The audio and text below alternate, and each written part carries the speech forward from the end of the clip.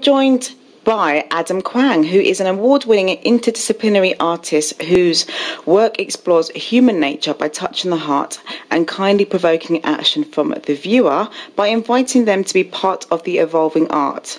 He is the founder of the World Karma Project, whose mission is to make you and the people around you awesome. Awesome! is that cheesy? Sorry. Um, he's here from Canada to take part in the South Banks Festival of Love through his art installation 1000 Acts of Kindness and through Love Bites, which is part of a series of talks which he will be doing today at 2 p.m. Adam, welcome. Hello, Lisa. Welcome to London as well. This is your first time here. It is my first time. It's uh, I've been getting a lot of wonderful reception, and people are completely so kind. Oh. It's really, really nice. Well, I'm pleased to hear that. Um, so, 1,000 Acts of Kindness is your art installation, which, as I said, is currently at the South Bank as part of the London Festival, which um, which began yesterday. Now, within your installation, you invite people to write down a proposed act of kindness, fold it up into an origami crane, and then the challenge is that they have to do the act within 48 hours of leaving. That right. The venue. Mm-hmm. Okay, how did this idea come about, first of all? Well, I think the idea come about it was first I'm an artist, so and I also do teach yoga. So I was lying on the floor after a yoga practice, looking up in my studio, and I say, "Oh, I want to make something whimsical and inspiring for somebody to look at." And well, to me, it's just naturally origami crane.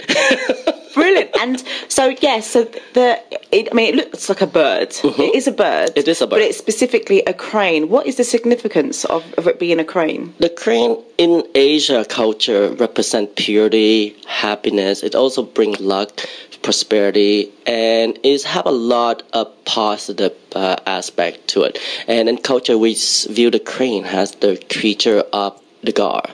So they bring in messages from Buddha, oh, wow. being enlightened. So people on a higher level plane. Mm. Uh, yeah, so that's why I thought of them. So you, so you see, like you know, in Asian um, building and stuff like that, a lot of crane um, picture mm-hmm. depicted, or you know, you have crane uh, statue.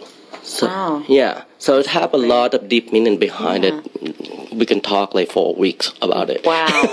well, it's and as I said yesterday, I experienced it, and yeah. and it it it did give me a greater sense of hope. I did feel kind. Yes. And and I actually didn't need to wait 48 hours to do my deed because I think I did it within like the first 10 seconds of arriving there.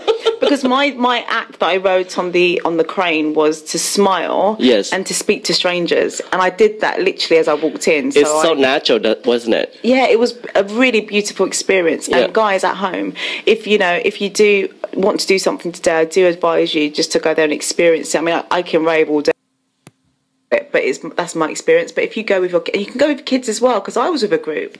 Yeah. I was with Magdalene, um, Dom, and Alison, and they really kind of like brought me in and um, and, and and allowed me to, to to share with them. And they were kids, and they were brilliant. Yeah, and sometimes that all people need is like an introduction, somebody like help, like just open the door, and then you see people just suddenly open every themselves up for, mm. people, and that like you see all day yesterday, and it was packed. I it don't know you saw it was like from morning until we close, and after we finish at six, like there's still people coming, and we were like actually we we didn't leave until around seven. Oh wow! Yeah, it was like it was a madhouse all day yesterday. I was like, running back and forth, and it was really nice experience. And then you see everybody smiling. Yeah. Everybody, you know, at first you see people come in, they didn't know what to do, and then you know I just invite them to sit at the table and then say, hey, sitting over there, you know, there are few chairs, so go share with people. Yeah, no, it's and really then other people helping other people. And that was it, it, became so natural, didn't it? No one cared that they didn't know each other. Everyone was smiling. Everyone just was willing to help each other. Exactly. So was that,